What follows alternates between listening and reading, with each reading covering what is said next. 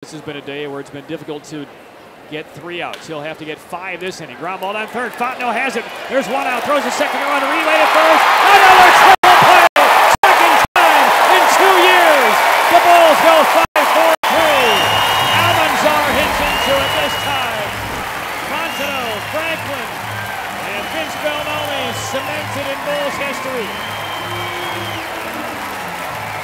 No more frustration for Nathan Karns.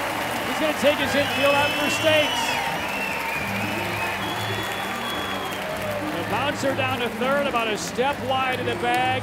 Fontenot raced to the bag, fired to Franklin, and the relay to Belnome just a quarter step ahead of Almanzar. And the inning is over.